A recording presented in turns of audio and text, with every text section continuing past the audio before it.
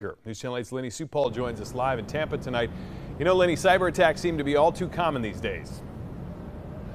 Oh, yes, Josh. The healthcare industry, a bullseye for hackers, with criminals paying a high price for medical records on the dark web. And it's still unclear if any private information was stolen from the state health department.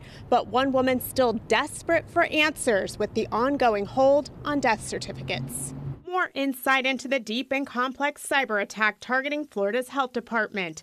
Cybersecurity experts weighing in. Complete healthcare records can go anywhere from 150 to $1,000 a record depending on how complete those records are. Fonda Emard grieving her mother's loss. Three weeks later, still no death certificate and no answers. There are several accounts that I have to continue to pay because I can't close them. We need to sell the house.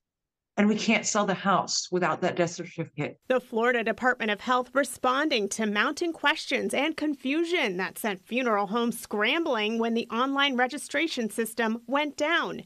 In a statement saying, We are working around the clock to restore the online vital statistics system. What happens if you do not have a death certificate. It delays the process. You can't necessarily cremate a person, you can't bury them. But in this example, you can't distribute the funds that are within that estate to the persons who are entitled to that. Attorney Brian Camerino says options are limited for families as the situation continues.